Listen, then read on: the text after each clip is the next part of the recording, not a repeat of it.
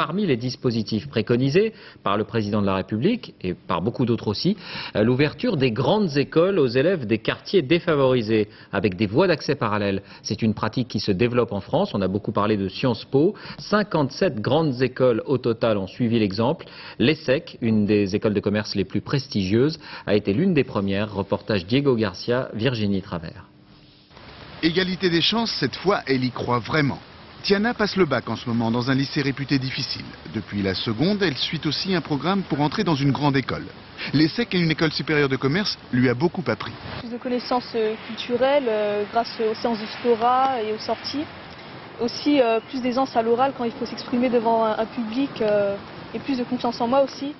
Argument des grandes écoles, elles ont tout intérêt à recruter les meilleurs élèves des milieux défavorisés plutôt que les moyens des milieux favorisés. Pendant trois ans, chaque lycéen peut compter sur un tuteur qui va l'aider et l'épauler. Tous les sujets sont abordés.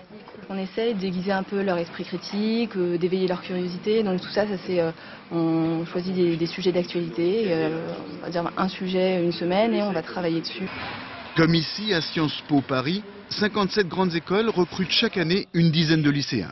La promotion de l'égalité des chances, priorité du gouvernement, fait son chemin dans les grandes écoles. Nous sommes dans une logique d'exigence bienveillante, c'est-à-dire qu'on les entraîne à, à, travailler plus, parce que qui dit grandes écoles dit euh, travail euh, supplémentaire, et puis ça leur donne une ouverture et un enrichissement qu'ils ne peuvent pas trouver au lycée.